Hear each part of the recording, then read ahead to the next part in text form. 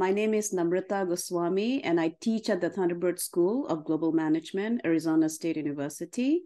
And I also authored a book called Scramble for the Skies The Great Power Competition to Control the Resources of Outer Space.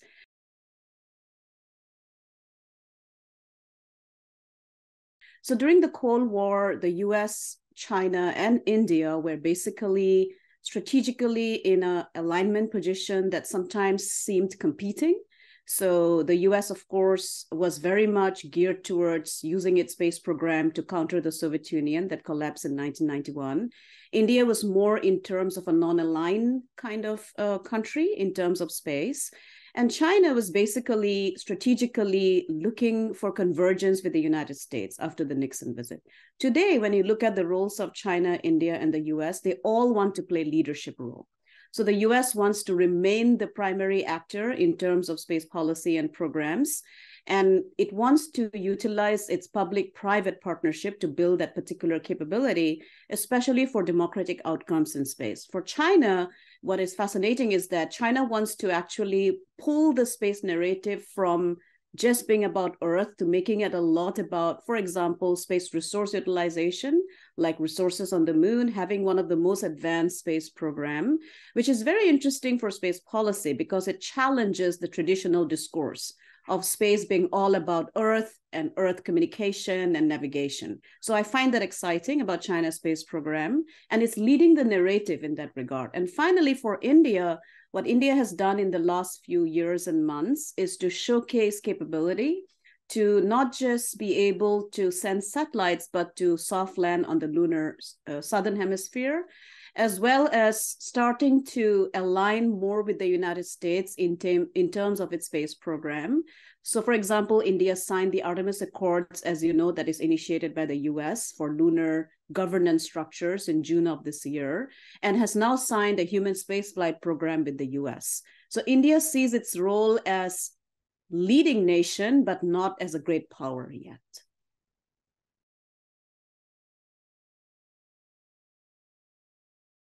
I think the one lesson that the US can learn in terms of, for example, India and China space program is that both nations are viewing space from an economic perspective. So the US space program has economic perspectives, but it's a lot about exploration, science, and national security space capability. So it is very much still dictated by what the US achieved during the Cold War, including missions like sending humans back to the moon again, like the Apollo mission. So it's not so much about permanent economic capability, sustainable development, for example, of the moon. So, what China has done, as I mentioned before, is that China has actually created a discourse where it's building capabilities like space based solar power, that is a renewable technology that is going to afford humanity a very low cost, accessible energy that is going to be 24 hours. So sunlight uh, gathered in space where it is 24 hours unlike earth where ground solar has challenges of weather uh, and night. So that's really an interesting learning lesson for the us that nations like china and india are changing. Now what china and india can learn from the us is the fact that the US remains the lead actor in terms of space capability because of its innovative industrial base. So the US is the first nation to push for private space companies, the first nation to develop reusable capability, also the first nation to unleash private entrepreneurship. So both China and India have learned a lesson and have instituted policy to develop their private space capacity, but they are not there yet. So that's a lesson that China and India can take from the US.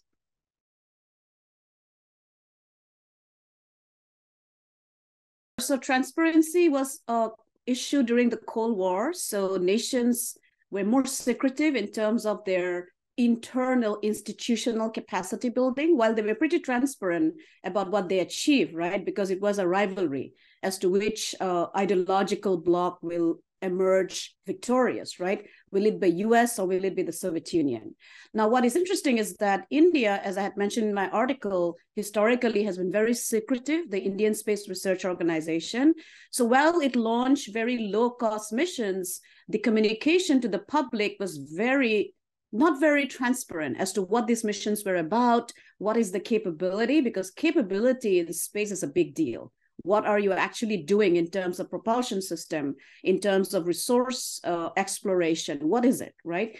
So what i found so interesting was that as i mentioned in my article uh, where i was quoted actually uh, is that the chandrayaan 3 mission actually astounded me too because during my field work i still felt that there was this reticence to talk about space missions. But with the chandrayaan 3 india's space research organization isro was so transparent as to what the mission goal was, what the rover was going to do, real time data on what the rover actually was doing on the moon, and also in terms of what Chandrayaan 3 means in terms of space capability, right?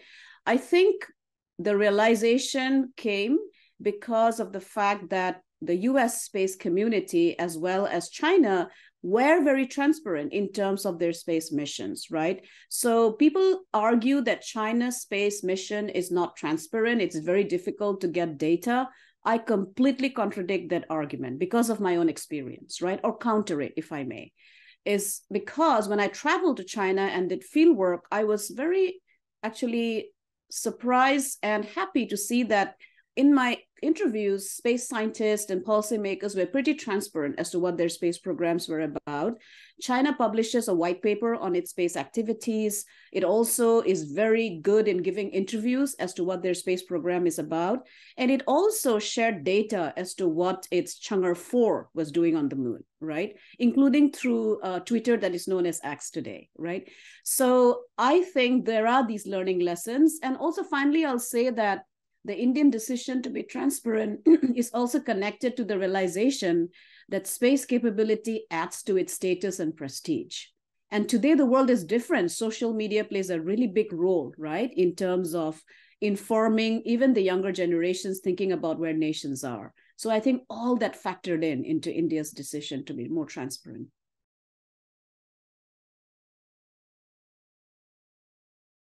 So, will the future space order be more competitive or will we see collaboration?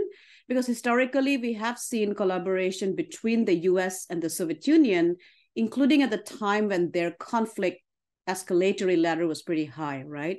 So, I think the one thing that helped the US and the Soviet Union to collaborate, and people forget this, was that they initiated a strategy called detente, right? So, detente basically helped because both nations took a decision that it's really critical for them to de escalate and to have communication and collaboration. I do not see a very similar strategic structural level policy between the US and China yet, but that does not mean that that might not happen because space technology is such that collaborative efforts help, right, in terms of where they go. Now, in regard to the Wolf Amendment, to answer your question, the basic premise of the Wolf Amendment was that there were concerns as to how China organized its institutions, for example, in space. So, unlike the US and India, where there is a very clear demarcation between the military and the civilian aspects of their space program, and that really matters because if you want to collaborate in high end technology, one concern that nations have is that such technology should not fall into becoming militarized, right? And so the Wolf Amendment's argument was that US advanced space technology could fall into China's missile development program, right?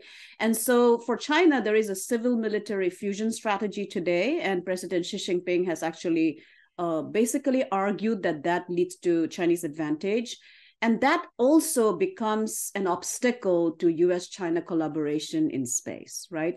And so the Wolf Amendment, that's why I think it'll be very hard to remove it unless China is very clear as to what its uh, civil and military space institutions are and does this very clear demarcation right? So an example from history, recent history is India-US nuclear collaboration, right? The US's biggest concern about India's nuclear program was very similar, that India's nuclear civilian technology might fall into the hand of its weaponization program. So what India did was that it very clearly demarcated both programs, and that resulted in closer US-India nuclear collaboration. Now, if you the answer your question about China India space collaboration, multilaterally there are lots of efforts. For example, to the BRICS summit where they talked about building uh, space collaborative efforts together. And then you saw the G20 summit where again space and science and technology were a critical part of the joint statement, and China is a member of both. But I think unfortunately, because India and China suffer from disputed territories and conflict at the border. And space plays a role in terms of intelligence, reconnaissance, surveillance. And both countries are anti satellite weapon states. The collaboration is not at the level that should be for ideally for two major spacefaring nations in Asia. And I actually come from one of the conflict affected areas, uh, which is Northeast India, where the disputed uh, territories are. And there is a lot of concern from the local population that this particular territorial issue can escalate, right? And there is pressure on Indian policymakers to make it more, uh, basically defend the territory. So that can limit uh, space collaboration between India and China. Unless they resolve the border and territorial issue, that has an impact on their larger relationship as well.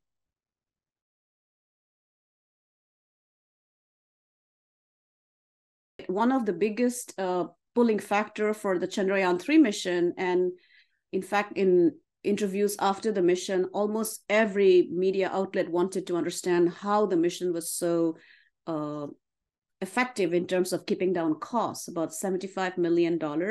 A single launch of the space launch system by NASA is $4 billion, right?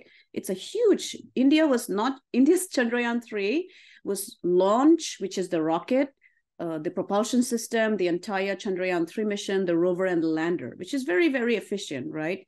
So uh, I think what we see uh, moving forward to answer your question is that you already see strategic collaboration between the US and India, right? So in a joint statement signed during Prime Minister Modi's visit to the US and then President Biden's visit to India during the G20 summit, both nations have taken the decision to collaborate in space.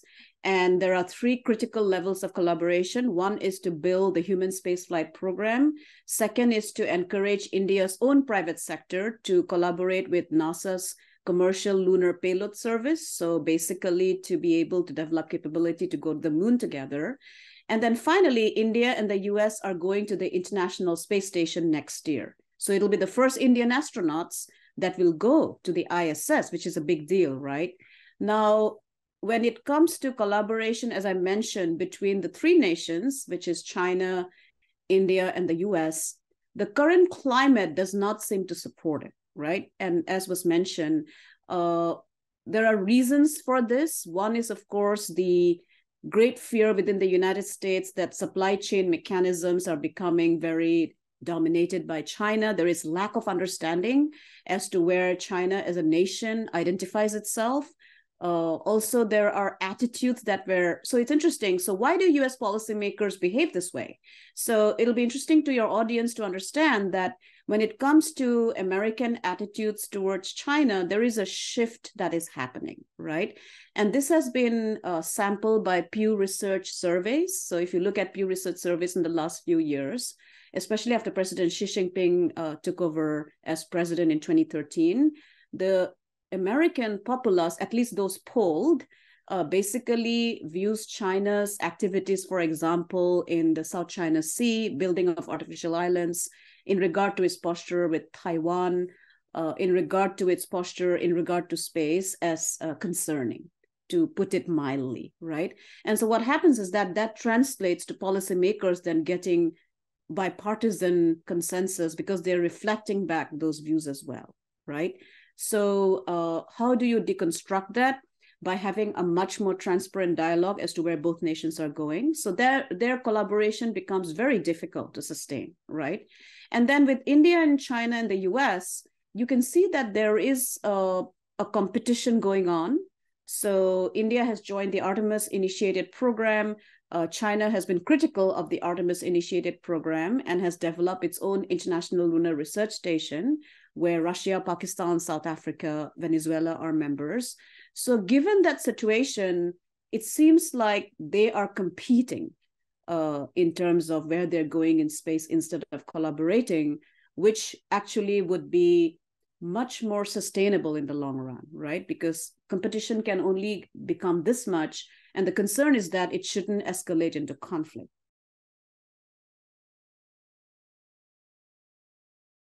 Yeah, so I think I would see the challenges from three aspects. So, one is at the level of policy and legislation, right? So, the Wolf Amendment is a challenge because it does not allow uh, direct space collaboration between the space uh, institutions of China and the US, right?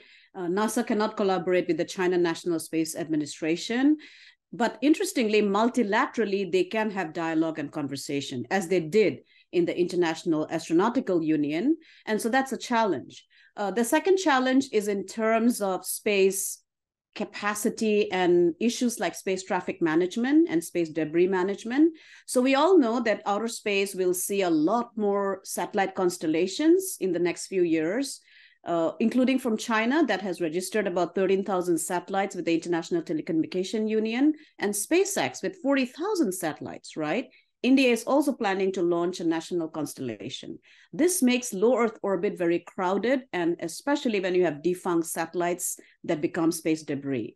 So, one of the biggest challenges is how do you have consensus as to how are you going to clean up space and what is close approach? So, what happens if a particular space body registered to a particular nation comes very close to another space body registered with another nation? There is no consensus, right? and that's a challenge so how do you get to consensus and between the three major spacefaring nations i would think that there has to be some level of consensus as to how do they deal with these particular issues and then finally i think one of the biggest challenges for all three nations us china and india are that they are both major military space nations, right? So both all three nations have taken decisions that space is a very critical part of military power projection, uh, including building anti-satellite weapons, uh, also co-orbital satellite platforms that can have robotic arms that can actually act as a weapon in the future.